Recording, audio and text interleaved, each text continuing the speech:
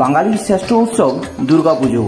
আর এই দুর্গাপুজো উপলক্ষে পৃথিবীর সমস্ত জায়গায় সাথে সাথে সেজে উঠেছে এই ছোট্ট শহর তালডাংরাও। তো আজকে আপনাদেরকে দেখাবো এই তালডাংরার দুর্গাপুজো। আজকে চতুর্থী। এখনও তালডাংরা সার্বজনীন যে হাই স্কুলের সামনের দুর্গা মণ্ডপ আছে, ওখানে মূর্তি পুরো কমপ্লিট না হলেও উন্মাদনা কিন্তু একদম চোখে পড়ার মতো। এখনও মণ্ডপ সজ্জার কাজও চলছে পুরো কোনো কমপ্লিট হয়নি। এই যে কারিগরেরা একদম পুরো চেষ্টা করে যাচ্ছেন তাড়াতাড়ি শেষ করার জন্য। আজকে চতুর্থী, কাল পঞ্চমীর মধ্যে হয়তো কমপ্লিট হয়ে যাবে। কিন্তু পুরো তারলাংরা কিন্তু একদম পুরো আলোতে রাঙিয়ে গেছে বিভিন্ন রং বেরঙের আলোতে। আর এই যে মণ্ডপ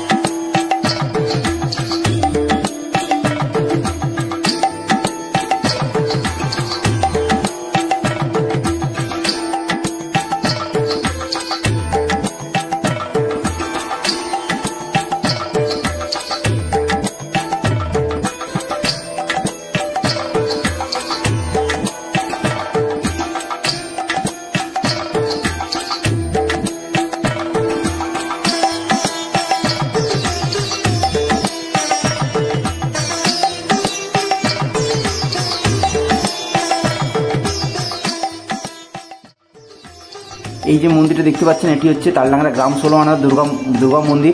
এটি তালডাংরা সব থেকে প্রাচীন দুর্গাপুজো। এই দুর্গাপুজোটি এই বছর একশো আঠাশতম বর্ষে পা দিচ্ছে। দেখতেই পাচ্ছেন, কিছুক্ষণ আগে এখানে মা দুর্গার প্রতিমা চলে এসছে। প্রতিমা প্রতিষ্ঠা হয়ে গেল এখানে। এখন পর্যন্ত সেট করা চলছে প্রতিমা। এটা তালডাংরা সব থেকে প্রাচীন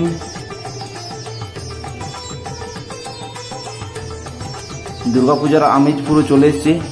কলকাতা সাইডে তো পুরো দুর্গাপূজা শুরু হয়ে গেছে এতদিন, কিন্তু আমাদের গ্রাম বাংলার পুজোগুলো মোটামুটি ষষ্ঠীর থেকেই শুরু হয়। এই যে মন্দির, খুব সুন্দর মন্দির, তার সাথে সাথে অসাধারণ প্রতিমা।